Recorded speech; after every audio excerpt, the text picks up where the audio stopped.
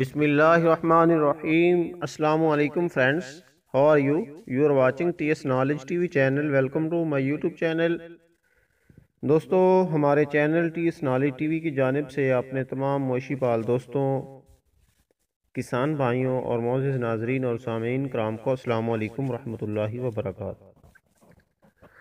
Friends, آج کی اس video میں ہم آپ کو مسٹائٹس یا حوانہ کی سوزش کچھ لوگ اسے انگیاری کا نام بھی دیتے ہیں، کچھ اسے موسڑی کا نام بھی دیتے ہیں۔ اس کے متعلق آپ کو بتائیں گے، اس ویڈیو میں آپ کو اس بیماری کی کیا وجہ ہے، یہ بیماری کیوں ہوتی ہے؟ اس کی علامات کیا کیا ہیں؟ اور اس کی حفاظتی تدابیر کیا کیا ہیں؟ اور اس کے دیسی علاج کیا ہے؟ دیسی علاج میں ہم آپ کو چار پانچ نسخے بتائیں گے، یہ سارے نسخے آزمودہ ہیں۔ تو ہر نسخے کی ہم ساتھ میں اسکرین پہ لکھ بھی دیں گے، ساتھ میں چلا بھی دیں گے۔ تو فرنڈز ویڈیو شروع ہونے سے پہلے آپ سے گزارش ہے کہ اگر آپ چینل پر نئے ہیں تو کائنڈلی اسے سبسکرائب کر لیں تاکہ نئی ویڈیوز آپ کو مل سکیں۔ اور اگر آپ نے چینل سبسکرائب کیا ہوا ہے تو اس ویڈیو کو لائک بھی کریں اور اس میں کومنٹس کر کے ہمیں بتائیں بھی کہ آپ کو ویڈیو کی سمجھ آئی ہے یا نہیں آئی۔ اگر کسی قسم کی کوئی کنفیوژن رہ جاتی ہے تو آپ کومنٹس میں پوچھ بھی سکتے ہیں۔ تو ویڈیو کو آپ نے غور سے دیکھنا ہے، اس میں آپ نے طریقہ علاج جو ہے، اس کو اچھی طرح سے سمجھ لینا ہے۔ تو فرنڈز آئیے شروع کرتے ہیں کہ میسٹائٹس یا ہوانہ کی سوزش اس بیماری کو مختلف ناموں سے پکارا جاتا ہے، کیونکہ اس کی قسمیں مختلف ہوتی ہیں۔ کچھ لوگ اس کو ساڑو، کچھ اسے انگیاری کا نام دیتے ہیں، کچھ اس کو موسڑی کے نام سے پکارتے ہیں۔ ایک اندازے کے مطابق، ہسپتال میں لائے جانے والے جانوروں میں سے چالیس سے پینتالیس فیصد گائے اور بینسیں اس مرض میں مبتلا ہوتی ہیں۔ اسے دودھ دینے والے جانوروں بالخصوص چھ سے دس سال کی عمر کے جانوروں کو زیادہ نقصان پہنچتا ہے۔ اس بیماری کی وجہ کیا ہے؟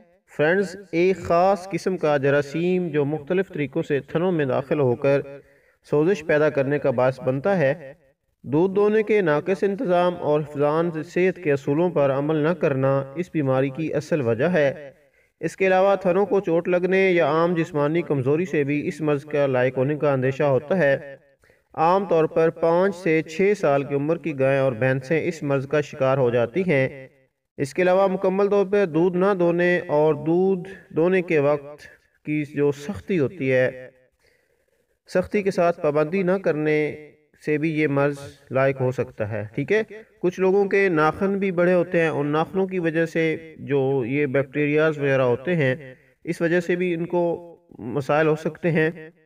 اور اس کے ساتھ ساتھ ایک وجہ یہ بھی ہوتی ہے کہ جو ہم کھل بنولا یا خشک روٹی کے ٹکڑے استعمال کرتے ہیں، اس میں فنگس لگی ہوتی ہے۔ ٹھیک وہ فنگس بھی اس بیماری کا سبب بن سکتی ہے۔ تو فرینڈز، آپ اس بیماری کی آپ کو علامات بتاتے ہیں، اس کے بعد آپ کو حفاظتی تدابیر بتائیں گے اور اس کے بعد آپ کو اس کا علاج بتائیں گے۔ دوستو، اگر اس کے علامات کی بات کریں تو اس میں بیماری کی شدید حالت میں ہوانہ سرخ ہو جاتا ہے، جانور بہت زیادہ تکلیف محسوس کرتا ہے، دودھ پتلا اور اس کا رنگ پیلا پڑ جاتا ہے۔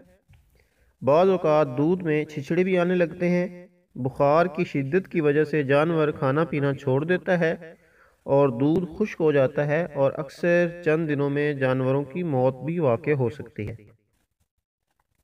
ٹھیک ہے؟ اور جو تھن ہے ان میں بھی ہوانہ میں جب سوزش ہوتی ہے تو تھنوں میں بھی بہت زیادہ سوزش ہو جاتی ہے۔ تو اب آپ کو بتاتے ہیں کہ اس کی جو احتیاطی تدابیر ہیں، وہ کیا کیا ہیں؟ پہلے وہ سن لیں، کیونکہ کہتے ہیں کہ علاج سے احتیاط بہتر ہوتی ہے۔ ٹھیک ہے؟ احتیاط علاج سے بہتر ہے۔ Cure is better than sorry care is better than cure تو فرینڈز، سوزشی حمانہ سے بچاؤ کی ترکیب میں اگر ہمارے فارمر حضرات درج ذیل سفارشات پر عمل کریں تو اس بیماری سے بچا جا سکتا ہے۔ نمبر ایک موشی خانے کو صاف ستھرا اور خوش رکھیں۔ فرش پر پرالی یا ریت وغیرہ کا استعمال کریں۔ اس سے کیا ہوتا ہے کہ جانور جو بھی پیشاب وغیرہ کرتے ہیں یا پانی وغیرہ جو بھی ہوتا ہے، وہ جذب ہو جاتا ہے۔ اگر فرش پختہ ہو تو اس کی سطح کھردری ہونی چاہیے۔ گائے اور بھینس خریدتے وقت یہ خیال رکھیں کہ اس کا حوانہ زمین تک لٹکا ہوا نہ ہو۔ تھنوں کی بناوٹ صحیح ہو اور وہ آپس میں صحیح فاصلے پر ہوں۔ حیوانہ اور تھن ٹٹول لیں کہ وہ سخت نہ ہو ہر تن سے چار دھارے نکال کر دودھ کو بھی دیکھ لیں کہ وہ درست ہے کہ نہیں ہے۔ دودھ دھونے سے پہلے اچھی طرح اپنے ہاتھ صابن سے دھو لیں۔ حیوانہ کو اچھی طرح پانی سے دھو کر صاف تولیے سے خشک کریں۔ ڈیٹول یا بلیچنگ پاؤڈر کا دو پرسینٹ محلول بنا کر ہر تھن کو باری باری ڈبوئیں۔ یہ عمل دودھ دھونے سے پہلے اور بعد میں بھی دہرایا جا سکتا ہے۔ ٹھیک ہے، اس کا آسان حل یہ ہے کہ آپ ڈیٹول لے لیں۔ ٹھیک ہے ٹو پرسینٹ مطلب آپ کے پاس اگر کہہ لیں کہ یہ آپ نے آدھی ایک بالٹی یا پانی کی لے لیں، اس میں ایک یا دو ڈھکن ڈیٹول کے ڈال دیں، اس سے آپ جو پہلے تھن دھوتے ہیں نا، وہ آپ اس ڈیٹول والے پانی سے دھو لیں، وہ ایک الگ برتن میں رکھ لیں۔ تو اس سے یہ ہوگا کہ ایک تو دودھ خالص ہوگا، کیونکہ ڈیٹول والا پانی تو ملاتے نہیں ہیں نا بیچ میں۔ تو دوسرا یہ کہ جانور کا بھی فائدہ ہوگا۔ اچھا اگر تھنوں میں دودھ اتارنے کے لیے بچڑا استعمال ہو رہا ہے، تو اس کے ماندنے کے لیے پہلے بچے کا منہ میں انگلی ڈال کر اس کا تھن، اس کا منہ تھن سے علیحدہ کریں۔ اگر اس کو ویسے ہی کھینچ کر علیحدہ کریں تو بچے کے دانت تھن پر زخم کر سکتے ہیں۔ اور ہمارے یہاں تو یہ بڑی کامن چیز ہے کہ جیسے ہی وہ بچہ چھوڑتے ہیں، بھینس یا گائے کے نیچے وہ دودھ اتار لیتی تو وہ رسے سے ایسے کھینچ لیتے ہیں۔ وہ بچے نے تھن منہ میں پکڑا ہوتا ہے اور وہ زور لگا کے وہ ایک کافی جھٹکا اس کو پڑتا ہے۔ تو پہلے آپ انگلی ڈال کے اس کا تھن جو ہے وہ نکالیں، پھر بچے کو کھینچے جب بچہ زیادہ بڑا ہو جائے تو وہ نیچے سر مارتا ہے، ٹھیک ہے؟ اس سے بھی جانور کے حوانے کے مسائل پیدا ہوتے ہیں۔ آپ کوشش کریں کہ اس کے منہ پہ تھوڑا ہاتھ رکھ کے ساتھ بیٹھ کے اس کو کریں کہ وہ جانور کو اپنی ماں کو چوٹ نہ پہنچائے۔ متاثرہ جانور کو علیحدہ باندھیں اور اس کا دودھ سب سے آخر میں نکالیں۔ زیادہ دودھ دینے والے جانوروں کا دن میں تین مرتبہ دودھ نکالیں۔ دودھ دینے کے بعد جانوروں کو ایک گھنٹہ تک نہ بیٹھنے دیں، کیونکہ دودھ والی نالی کا منہ ایک گھنٹے تک کھلا رہتا ہے اور بیٹھنے سے جراثیم اس میں داخل ہو سکتے ہیں۔ اس کا آسان حل یہ ہے کہ آپ اس وقت کوئی ونڈا یا سبز چارہ یا جو بھی آپ سالے وغیرہ دیتے ہیں، وہ اس وقت دیں جب آپ دودھ نکال رہے ہوں، تاکہ جانور بیٹھے نہ وہ کھاتا رہے۔ جب آپ دودھ نکالتے ہیں تو کیلشیم کی کمی ہوتی ہے، جس کی وجہ سے جانور بیٹھنے کی کوشش کرتا ہے۔ حیوانے پر زخم ہونے کی صورت میں اس کا فوراً علاج کرائیں۔ زخموں کے لیے سکارٹن ٹیوب کا بھی استعمال کیا جا سکتا ہے۔ دودھ مناسب وقفوں کے بعد ٹیسٹ کرواتے رہیں تاکہ مرض کا بر وقت پتہ چل سکے۔ اس کے لیے قریبی اسپتال یا کسی تشخیصی لیبارٹی سے رجوع کیا جا سکتا ہے۔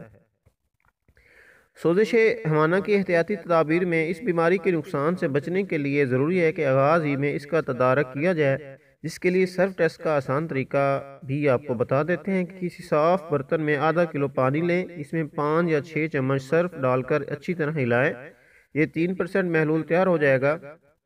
پھر آپ نے کیا کرنا ہے کہ ہر تھن میں سے تھوڑا سا دودھ نکالیں، اس کے مساوی مقدار میں سرف کا محلول ملائیں اور تقریباً ایک منٹ تک ان کو اچھی طرح ہلاتے رہیں۔ اس کے بعد آپ دیکھیں کہ یہ مندرجہ ذیل اس میں آئیں گے۔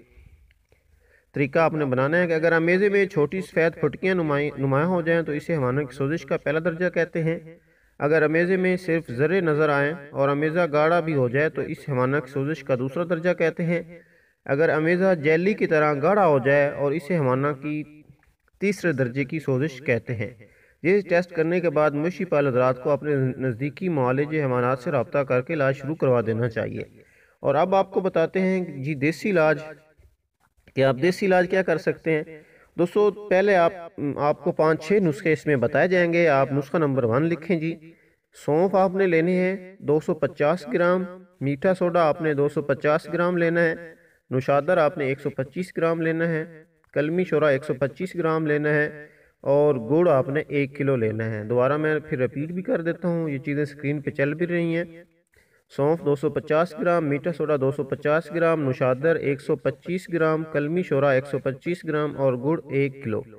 طریقہ استعمال یہ ہے کہ آپ سب کو ملا کر رکھ لیں اور اس کی پانچ برابر خوراکیں کر لیں اور روزانہ ایک خوراک آپ دے دیں۔ انشاءاللہ تعالیٰ اس سے آپ کا جانور ٹھیک ہو جائے گا۔ نسخہ نمبر دو ہے، اس میں آپ نے حالوں دو سو پچاس گرام لینا ہے۔ میتھے میتھرے جسے کہتے ہیں، یہ آپ نے دو سو پچاس گرام لینے ہیں۔ السی بھی آپ نے دو سو پچاس گرام لینی ہے اور سنڈ آپ نے ایک سو پچیس گرام لینی ہے۔ اس کا طریقہ استعمال یہ ہے کہ ان سب چیزوں کو ملا کر رکھ لیں اور چار برابر خوراکیں کریں اور روزانہ ایک خوراک کھلا دیں۔ نسخہ نمبر تین، سبز مرچ دو سو پچاس گرام نمک پچاس گرام، لہسن جسے تھوم بھی کہتے ہیں، ایک سو پچیس گرام، مکھن، تیل یا گھی، یہ آپ نے دو سو پچاس گرام لینا ہے۔ طریقہ استعمال سمجھ لیں جی روزانہ ایک خوراک دیں اور چار دن تک لگاتار آپ نے یہ دینی ہے۔ ٹھیک ہے؟ یہ ایک خوراک ہے۔ اچھا نسخہ نمبر چار ٹاٹری آپ تیس گرام لیں، شیشہ نمک تیس گرام لیں، چینی پانچ سو گرام لیں۔ استعمال اس کا یہ ہے کہ اس کی ایک خوراک بنائیں اور یہ پانچ دن تک آپ نے لگاتار استعمال کرنا ہے۔ یہ ایک خوراک ہے اور پانچ دن تک آپ نے یہ ایسے آپ نے دینے ہیں۔ نسخہ نمبر پانچ آپ کو بتاتے ہیں۔ کہ دیسی آگ کے نرم نرم پتے آپ دو سو پچاس گرام لے لیں، سرخ مرچ دو سو پچاس گرام لیں۔ طریقہ استعمال اس کا سمجھیں کہ دونوں کو آٹھ یا نو کلو پانی میں خوب پکائیں، جب پانی تمام کا تمام ختم ہو جائے اور تقریباً دو سو پچاس گرام پانی باقی رہ جائے، تو برتن کو نیچے اتار لیں اور مرچ اور آگ کو کپڑے میں ڈال کر نچوڑ لیں۔ جو نچوڑ نچوڑ والا پانی آپ کے پاس ہو، اس میں دیسی گھی دو سو پچاس گرام یا تیل ملا کر اس کو نیم گرم جانور کو پلا دینا ہے اور جو پھوک بچے وہ بھی جانور کو آپ نے کھلا دینا ہے، یہ کم از کم تین دن تک ضرور دینا ہے۔ اور اگر جانور حاملہ ہو تو یہ نسخہ آپ نے استعمال اکوالا نہیں کرنا، یہ بھی یاد رکھیں۔ سمجھ آ رہی ہے نا؟